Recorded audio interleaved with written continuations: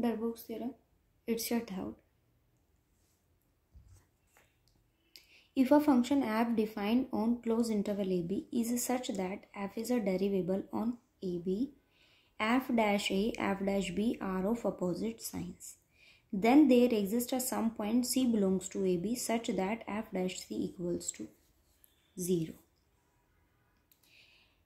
f is a defined it means there does not exist a single element even a single element which says that f is tends to infinity in this whole domain function is a defined let us suppose that f dash a is a greater than 0 and f dash b is less than 0 आपके पास f dash a is a greater than 0 and f dash b is less than 0 and by the concept of change of signs in the neighbourhood. Of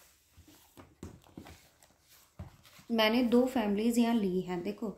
मैंने दो boundness यहाँ पर choose की है that F dash A is a greater than zero and F dash B is less than zero and here the interval is close interval A to B if F dash A is greater than 0 then there exists a del 1 which is greater than 0 in the neighborhood of a to a plus del 1 x is belongs to a to a plus del 1 f of x is greater than f of a by the concept of change of sign f dash a is a greater than 0 then f of x is a strictly greater to f of a. X is belongs to a to a plus del 1 if f dash b is a negative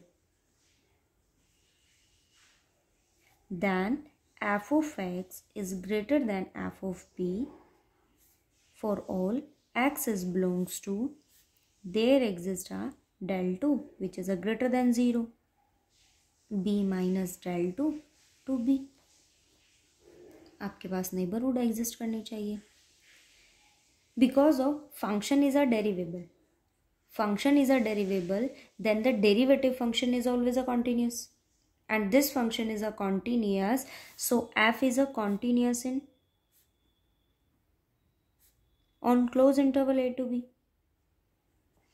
And if function is a continuous on a closed interval a to b then f is bounded and contains their bounds. Attends their bounds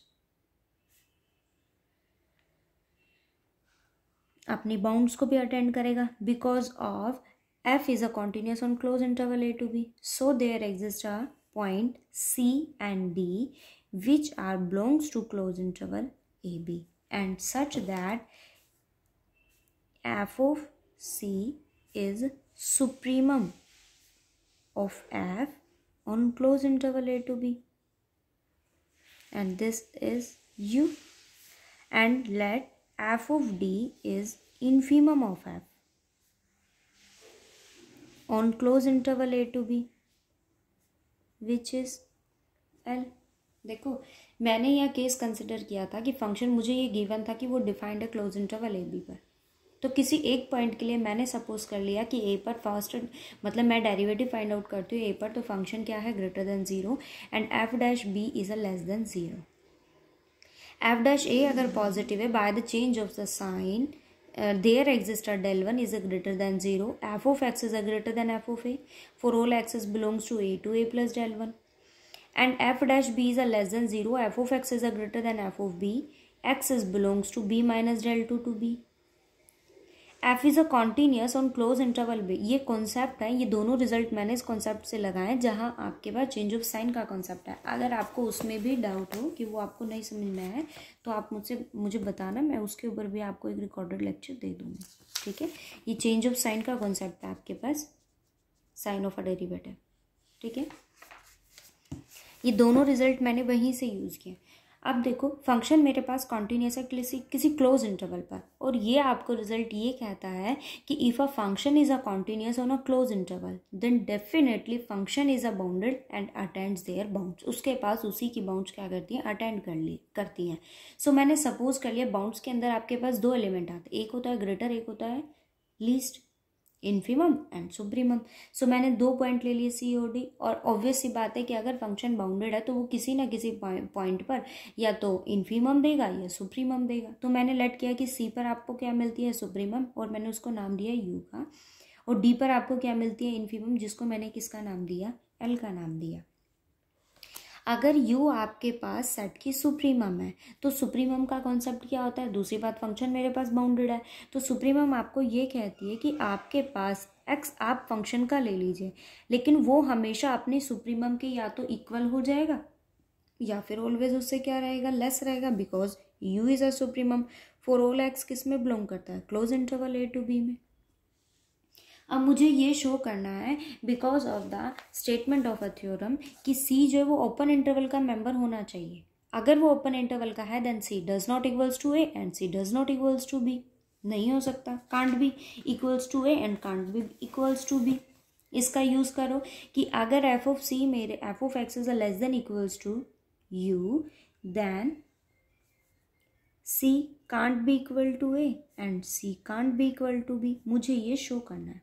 but मैंने मान लिया late कर लिया कि C जो है वो मेरे पास किसके इक्वल है? ए के इक्वल है। सी अगर ए के इक्वल है तो उसको सब्सिट्यूट कीजिए आप। Then F of A equals to आपके पास एफ़ ऑफ़ ए जो है वो किसके इक्वल हो जाएगा? यू के इक्वल हो जाएगा। अगर एफ़ ऑफ़ ए यू के इक्वल है तो आप इस रिज़ल्ट का यूज़ कीजिए। It means f of x is greater than f of a की वैल्यू क्या है? यू है। फॉर ऑल जहाँ एक्स किसमें बिलोंग करता है? A to a plus del one but ये तो कॉन्ट्राडिक्शन लग गई, क्योंकि फ़ंक्शन मेरे पास कैसा है? बाउंडेड है। ये तो कॉन्ट्राडिक्ट कर गया, और ये कॉन्ट्राडिक्ट कर गया it means your assumption is wrong so c is not equal to a अब आप आ जाइए कि सी आपके पास बी के इक्वल नहीं हो सकता बट मैंने कंसिडर कर लिया कि सी किसके इक्वल है। बी के इक्वल है। अगर सी बी के इक्वल है then f of c equals to f of b and f of c equals to supremum अब यहाँ यूज़ कीजिए इसका। Then f of x is greater than f of b but the value of f of b is u so this one is greater than u for all x x आपके पास किसका member है? B minus del two से b this is also a contradiction because function कैसा हो गया? Unbounded हो गया, लेकिन फ़ंक्शन है कैसा मेरे पास? बाउंडेड है। कॉन्ट्राडिक्शन लग गई। It means c is not equal to a and c is also not equal to b अब डेफिनेटली आपके पास ये आ गया है कि सी जो है वो आपके पास किसका मेंबर है? Open interval a to b का। अब आपको ये शो करना है कि सी अगर इसका मेंबर है then f dash c equals to zero f dash c आपके पास किसके इक्वल होना चाहिए? ज़ीरो के। बट मैंने यहाँ भी ये चीज़ कंसिडर कर ली कि एफ़ डैश सी जो है वो मेरे पास ज़ीरो के इक्वल नहीं है। अगर ज़ीरो के इक्वल नहीं है तो दो ही केसेस बनते हैं। या तो एफ़ डैश सी पर फ़ंक्शन ग्रेटर देन ज़ीरो होगा, या फिर एफ़ डैश सी पर आपके पास फ़ंक्शन की वैल्यू क्या हो जाएगी? लेस देन ज़ीरो या तो अगर ज़ीरो के इक्वल नहीं है देन पॉजिटिव और नेगेटिव मान लीजिए फ़ंक्शन आपके पास क्या है? ग्रेटर देन ज़ीरो है। तो मैंने इसके लिए एक डेल थ्री चूज़ किया सच दैट जो इस कंडीशन को सेटिस्फाई करता है कि पॉजिटिव है ना तो पॉजिटिव इसी derivative change of derivative of a sign से आप इसी कॉन्सेप्ट का यूज़ कीजिए कि अगर पॉजिटिव है then f of x is greater than f of a जब एक्स किसमें बिलोंग करता है? A to a plus del one और अगर नेगेटिव है तो इस कॉन्सेप्ट का यूज़ कीजिए। तो देखो, मैंने इसी कॉन्सेप्ट का यूज़ किया कि अगर ग्रेटर देन ज़ीरो है then f of x is a greater than f of c for all x जहाँ किसमें बिलोंग करता है? C to c plus del three but f of c is equals to u it means f of x is greater than u which is also a contradiction ये तो contradict करिए, क्योंकि function कैसा है? Bounded है. Same इसी concept का आप यहाँ यूज़ कीजिए कि जब नेगेटिव होता है तो वैल्यू क्या होती है? नेगेटिव के केस में कि f of x is a greater than f of b so f of x is greater than f of c. For all x, which is belongs to c minus del three to c suppose del four आप choose कर लीजिए, यहाँ चाहे तो और f of c is equals to u supremum है. It means f of x is greater than u but this is also contradiction ये contradiction लग गई। इट मीन्स आपके पास सी ना तो ना ही ग्रेटर देन ज़ीरो हो सकता है और ना ही less than zero it means f dash c is equals to zero ये आपकी डर बॉक्स थ्योरम ठीक है? कोई डाउट हो तो पूछ लेना।